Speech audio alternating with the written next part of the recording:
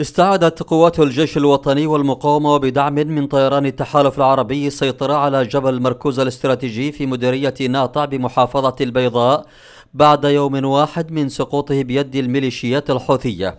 وقالت مصادر عسكرية إن قوات الجيش والمقاومة أحكمت السيطرة مجددا على جبل مركوزة بعد مواجهات عنيفة مع ميليشيات الحوثية الإيرانية الانقلابية.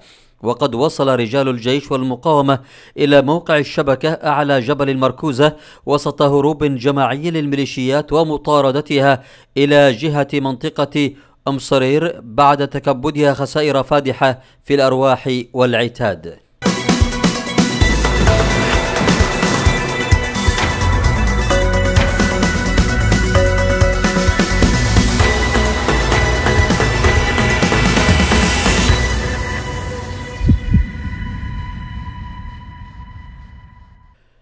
استكملت قوات الجيش الوطني وبدعم من التحالف العربي تحرير عزلة الهاملي ودحر ميليشيات الحوثية الانقلابية. وذكر المركز الإعلامي للقوات المسلحة أن الجيش تمكن من تأمين العزلة بعد تحرير سوق النجيبة وقرية المقاصع والعديد من القرى التابعة لعزلة الجمعة شمال وشرق مدينة المخا. وأشار إلى أن الجيش الوطني يتقدم صوب مناطق سبلة والمحجر القريبتين من مديرية حيس المطلة على الخط الرابط بين تعز والحديدة.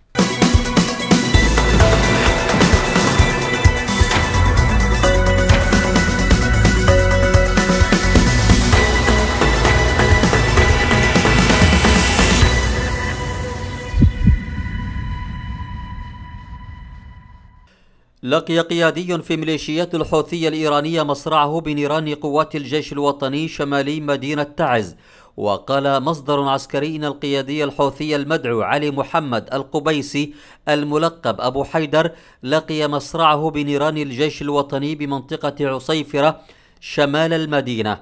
وأشار المصدر إلى أن القيادي القبيسي هو أحد أبناء محافظة ذمار.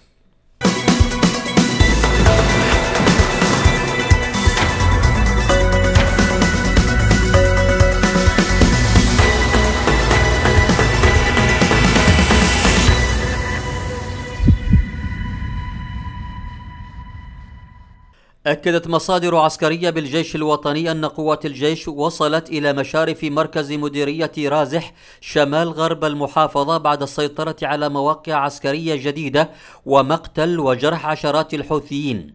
وأوضحت المصادر أن الجيش سيطر على عدة مواقع تشرف على مركز المديرية ومنها جبل الأزهور وشعيب.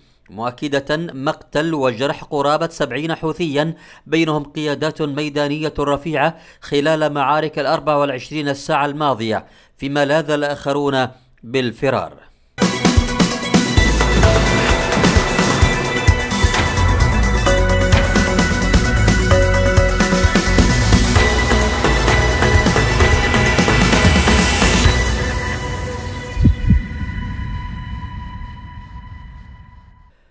فشلت ميليشيات الحوثي الانقلابية في صنعاء من إطلاق صاروخ باليستي نحو مدينة مأرب وقالت مصادر محلية شرق صنعاء إن صاروخا باليستيا سقط على أحد المنازل قرب مطار صنعاء الدولي بعد أن فشلوا في إطلاقه.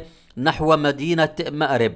وأضافت المصادر أن الميليشيات أطلقت الصاروخ من مقر قاعدة الديلم الجوية لكنه سقط مباشرة فور إطلاقه وفشلت الميليشيات الحوثية قبل أسبوعين من إطلاق صاروخ شمال صنعاء وسقط في إحدى الأراضي الزراعية غرب منطقة جدر.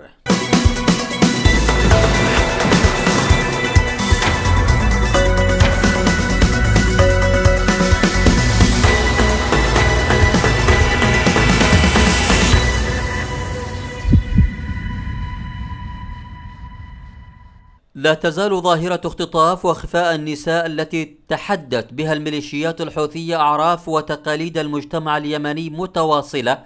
وعبر الذراع الذي أسسته الميليشيات وهو كتيبة الزينبيات النسائية تتواصل حملات الاعتقال التي تطال الناشطات من الفتيات وحتى المسنات التي تعالت أصواتهن رفضا للانقلاب وممارسات ميليشيات الحوثي في صنعاء وغيرها من المدن. حيث طالت عمليات الخطف سيدتين أخريين.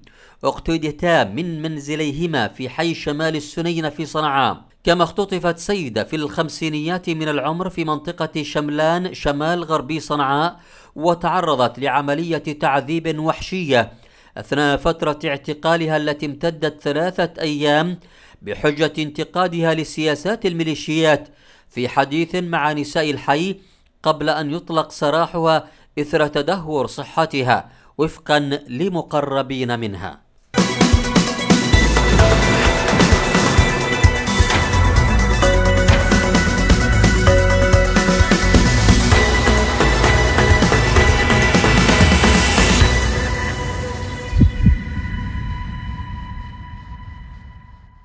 أفشلت طائرات التحالف العربي محاولة للميليشيات الحوثية الانقلابية الإيرانية إطلاق مقذوفات صاروخية من الحدود اليمنية على مدينة نجران جنوب المملكة.